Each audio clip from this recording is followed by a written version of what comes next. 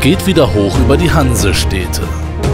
So zum Beispiel über die flächenmäßig drittgrößte Stadt Deutschlands.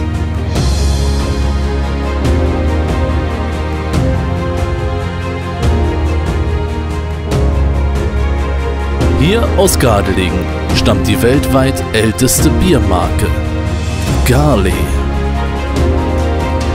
Im 19. Jahrhundert gehörte die Altmark zu den bedeutendsten Hopfenanbaugebieten Deutschlands.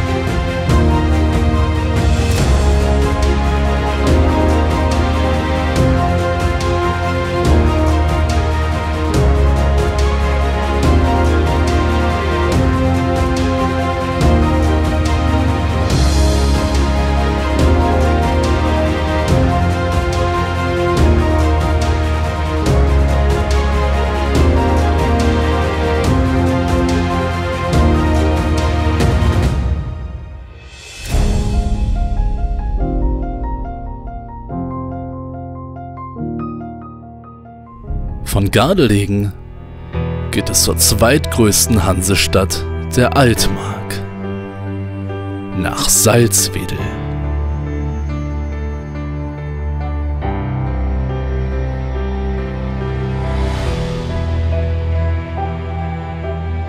Salzwedel ist besonders bekannt durch seine historische Baumkuchentradition.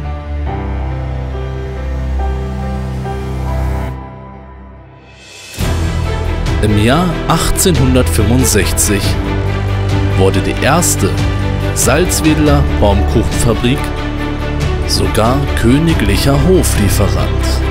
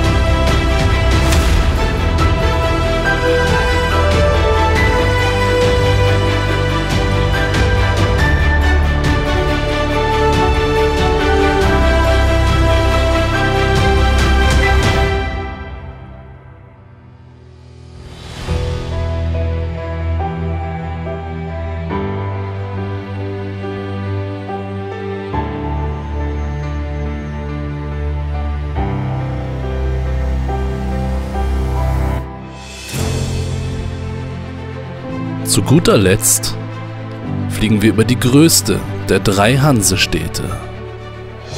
Stendal. Die Hansestadt im Herzen der Altmark.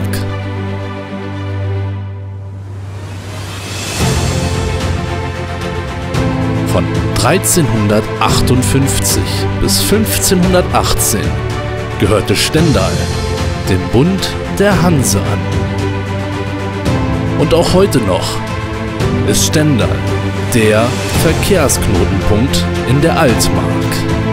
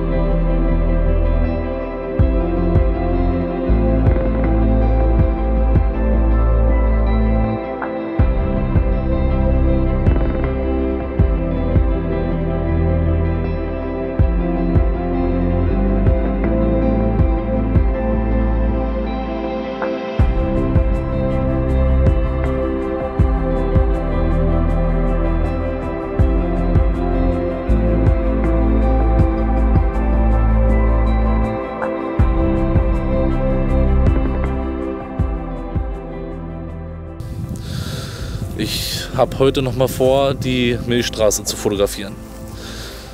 Ähm, ich weiß nicht, ob es funktioniert. Also Wettervorhersage hat gesagt eigentlich, dass es in der Nacht relativ schwach bewölkt sein soll. Also nicht ganz klarer Himmel, aber es sollen auch nicht viel Wolken am Himmel sein. Also so, dass es wahrscheinlich funktionieren könnte. Wenn ich mir den Himmel jetzt angucke, bis jetzt sieht das noch ganz schön schwierig aus und die Wolken ziehen auch wirklich sehr langsam. Na gut, wir lassen uns überraschen. Also wie gesagt, der Spot hier war eigentlich nur zufällig, weil ich sowieso auf der Durchreise war.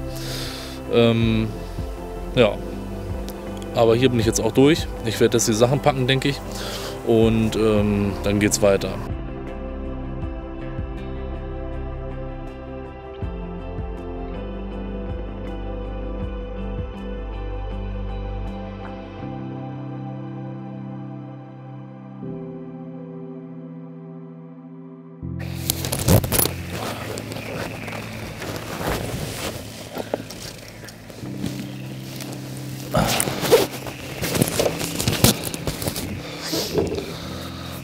Ist echt die übelste Froschparty. Und die Mücken sind auch nicht ohne.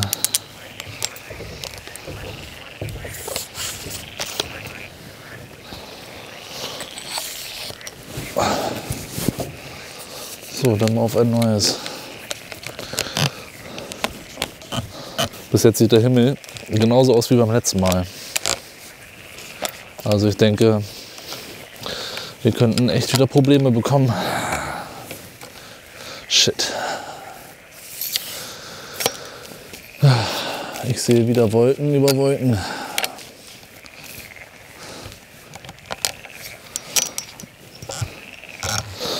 Oh Mann, ey. Warum habe ich dieses Jahr so ein Pech damit? Das ist für mich. Ist mir echt unbegreiflich, warum das so ist.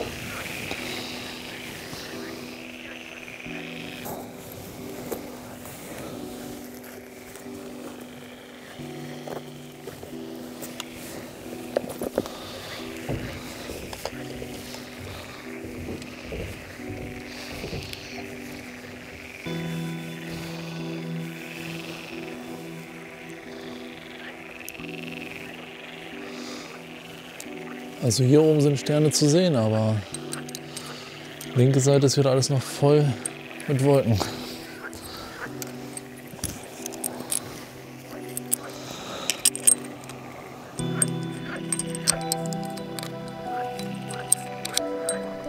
Ich ahne bereits, dass ich wieder umsonst zur Anlegestelle in Ziesau gefahren bin. Dennoch muss ich zumindest versuchen, mein Foto zu bekommen.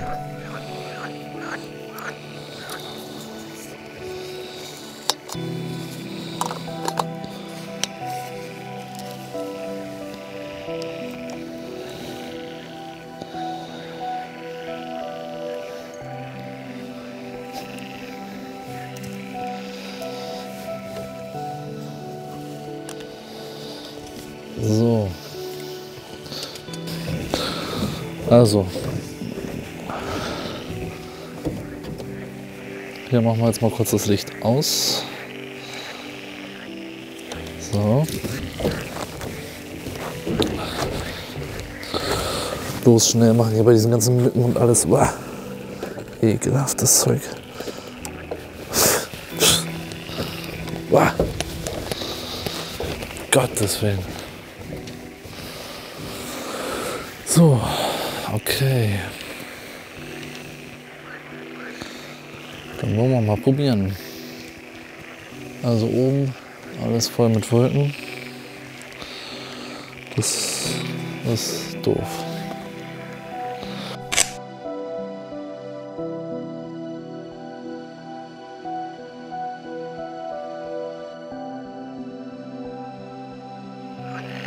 Da oben kann ich die Sterne wunderbar sehen. Sternschnuppe.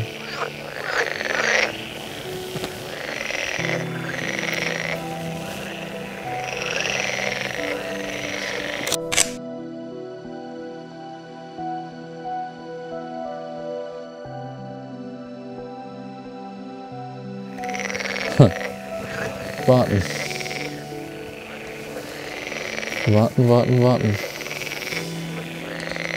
Traue mich gar nicht auf mein Handy zu gucken bei diesem ganzen Viehzeug hier. Da ist ja gleich das ganze Gesicht voller Mücken, ey. Also das ist ja wirklich schlimm diesmal. Ich hätte mich mal eincremen sollen. Hab ich nicht dran gedacht. Naja. Was will man machen? So. Die Sterne funkeln stellenweise durch die Wolkendecke hindurch. Eigentlich bin ich meinem Ziel schon so nah.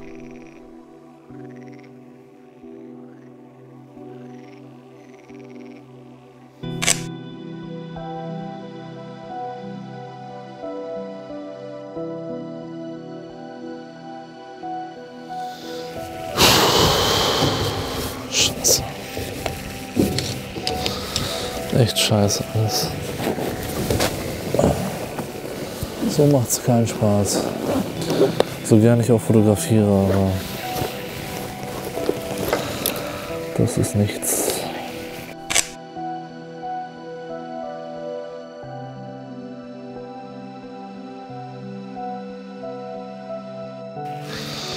So, ich weiß nicht, ob man mich sieht, aber äh, ich muss auch das Licht ein bisschen hier verstellen wegen den ganzen Viechern. Das ist sonst, äh, ist mir sonst ein bisschen zu viel Mücke im Gesicht.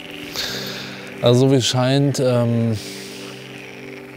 wird es auch diesmal wieder eine schwierige Nummer. Äh, es ist jetzt 23.51 Uhr und ja, der Himmel ist übersät mit Wolken. Also von dem her ich mache mir da nicht zu viel Hoffnung, sagen wir es mal so. Es wäre natürlich schön, wenn es diesmal klappt, weil es sonst die zweite Nacht wäre, die verschenkt war dafür. Also ich hoffe, das klappt. Ich hoffe es wirklich sehr. Der Vordergrund ist soweit fertig, das habe ich, hab ich fertig belichtet. Ich werde es ja nachher zusammensetzen, zwei verschiedene Belichtungen, Vordergrund ein bisschen länger belichtet und ähm, ja, darüber dann halt die Milchstraße wenn sie zu sehen sein sollte, was natürlich das Hauptkriterium ist.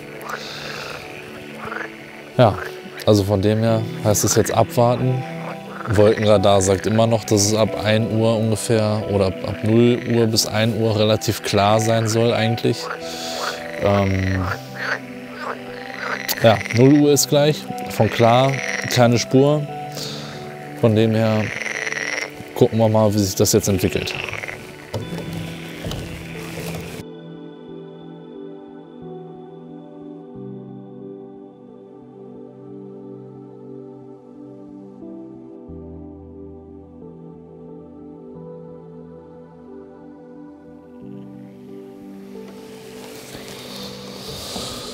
Tja. 1 Uhr klarer Himmel. Aber tja, davon ist nichts zu sehen. Ich verzweifle wirklich.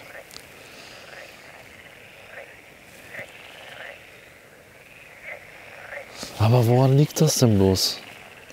Jedes Mal sagt der Wetterbericht, dass es klaren Himmel geben wird und jedes Mal falle ich drauf rein. Und ich gucke ja sogar extra schon immer auf den Wolkenradar, wo die Wolken lang gehen und alles, aber irgendwie. Ich habe ja gerade geguckt, er sagt ja jetzt immer noch in Ahrensee klarer Himmel, aber das ist alles andere als klar.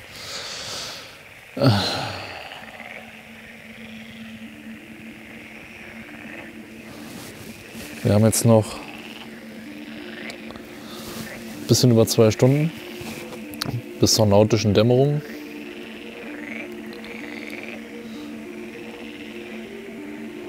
Tja, ich weiß nicht, ob in zwei Stunden der Himmel so aufklaren kann.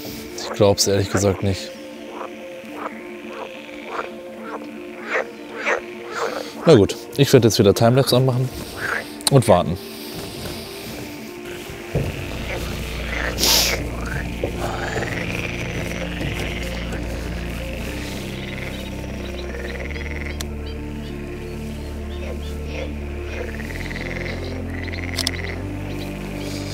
So ist es jetzt halb eins. Ich packe die Sachen zusammen, weil Das wird heute nicht mehr funktionieren. Ich bin mir ziemlich sicher, dass die Wolken sich nicht mehr verziehen werden. Von dem her muss ich mich auch heute geschlagen geben, leider. Aber ich werde es nochmal probieren. Das ist eins meiner Traumfotos. Die Milchstraße zu fotografieren. Über dem Ahrensee. Und irgendwann wird es mir gelingen. Irgendwann wird es funktionieren. Und dieses Foto wird in das Fotobuch kommen. Da bin ich mir sicher. Das hat zwar heute nicht geklappt, aber es wird nächstes Mal klappen. Alle guten Dinge sind drei. Und beim nächsten Mal wird es gewiss funktionieren. Aber heute wäre es einfach Quatsch. Sich die Nacht hier um die Ohren zu schlagen. Ohne Ergebnis. Klar könnte ich bleiben bis zum Sonnenaufgang und den fotografieren, aber dann hätte ich auch zum Sonnenaufgang aufstehen können. Und nicht wach bleiben bis in die Nacht. Ich denke, ich werde es nächste Woche nochmal probieren. Nächste Woche ist die Milchstraße noch gut sichtbar. Und dann gibt es den nächsten Anlauf.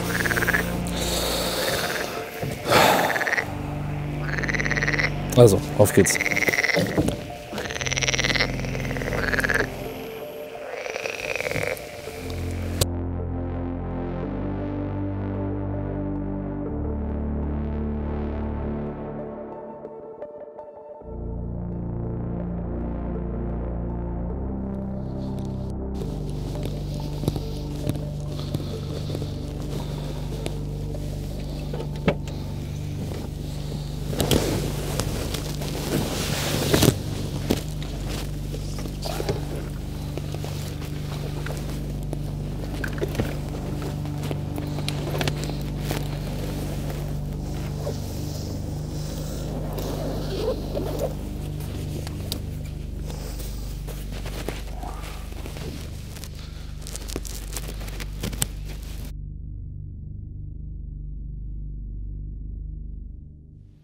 Endlich wieder Fotozeit. Guckt euch mal diesen Sonnenuntergang an. Herrlich und wie dramatisch. Aber das war heute nicht mein Plan. Mein Plan ist es heute, den Kometen Neowise zu fotografieren. Dieser Komet ist sogar mit bloßem Auge aktuell sichtbar, und zwar Richtung Nordwesten und in der Nacht so zwischen 0 und 3 Uhr. Ich werde für dieses Foto wieder an die Stelle in Arneborg fahren, wo ich den Sonnenuntergang fotografiert habe. Und ähm, werde es da probieren, weil Arneborg würde genau im Nordwesten liegen und darüber wäre der Komet zu sehen. So zumindest mein Plan aktuell. Ob es funktioniert, weiß man natürlich wie immer nicht, aber wir machen auf jeden Fall das Beste draus. Danach geht es weiter nach Havelberg.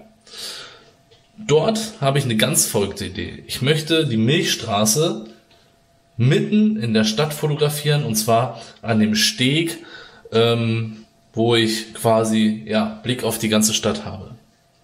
Auch das, keine Ahnung, ich habe die Milchstraße noch nie in einer Stadt fotografiert. Wahrscheinlich wird es nachher davon abhängen, wie hell die Stadt beleuchtet ist, ob es funktioniert oder ob es nicht funktioniert.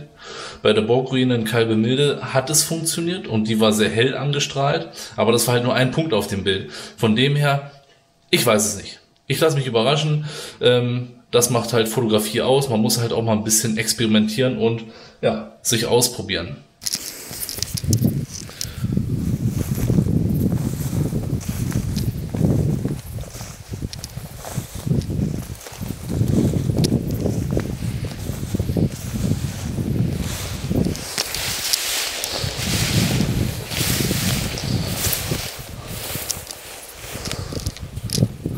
So, dieses Mal wieder mega Pech. Ähm, ich bin jetzt hier in Arneburg oder an der Elbe bei Arneburg und es ist alles zappenduster. Alle Lichter sind aus und ähm, ja, das sieht natürlich so ein bisschen verloren aus. Man sieht den Kometen auf jeden Fall, er ist echt gut zu sehen, aber ja, alles irgendwie schon wieder doof. Hier ist äh, Elektrozaun, also man kommt gar nicht runter ans Wasser. Arneburg ist alles dunkel. Ja, und irgendwie. Also würde ich sagen, den Spot überspringen und direkt weiter nach Havelberg.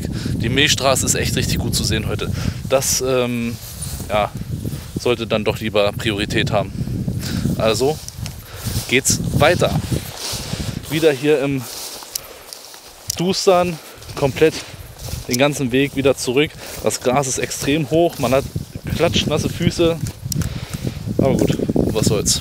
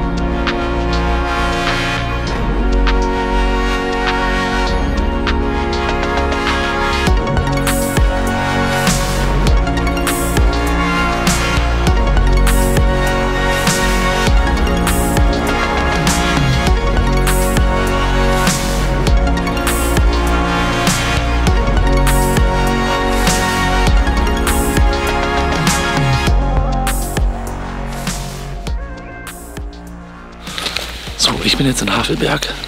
Es ist, keine Ahnung, um eins, um zwei, ich weiß nicht, keine Ahnung. Auf jeden Fall nicht so laut sein. Hier hinter uns ist ja direkt der Campingplatz. Ähm, ja, und ich werde jetzt einfach mal loslegen und gucken, was bei rauskommt.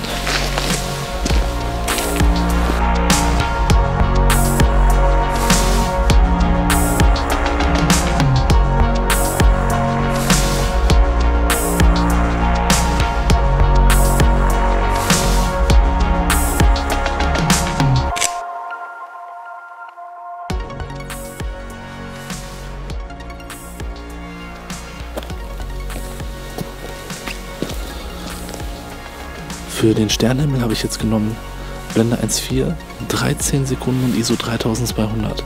Mal gucken, wie es aussieht. Den unteren Abschnitt habe ich jetzt fertig. Ich habe vier Bilder gemacht, äh, hochkant, und ähm, die würde ich dann gerne für die untere Reihe des Panoramas nehmen.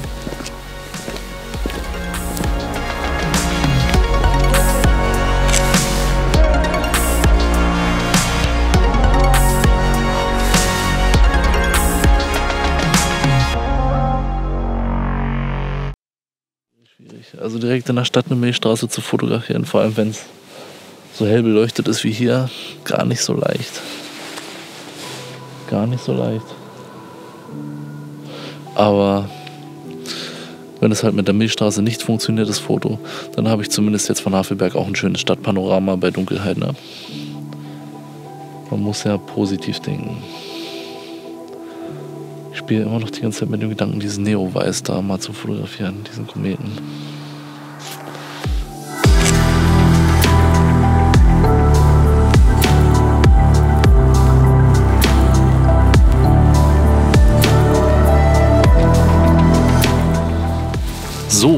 Ich bin jetzt hier aufs Feld gefahren und äh, habe doch nochmal den Kometen fotografiert, weil einfach in Havelberg, naja, äh, war ich fertig. Also von dem her, was soll ich da noch weiter rumtrödeln und Zeit verbringen? Ähm, hier hat es sich doch nochmal gelohnt. Ich konnte den Kometen tatsächlich nochmal richtig gut fotografieren und plötzlich hier auf dem Feld habe ich auf einmal diesen riesigen Mond gesehen mit einer so krassen Farbe. Das habe ich noch nie gesehen. Richtig, richtig geil. Aber äh, naja, zum Fotografieren hm, eher mäßig gut geeignet, weil Mond ist immer schwierig rüberzubringen auf ein Foto, so wie er halt in dem Moment aussieht. Probieren ich es trotzdem.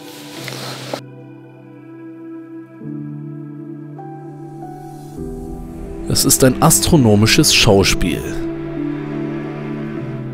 Es wirkt als würde man auf einem anderen Planeten stehen und in das Universum blicken.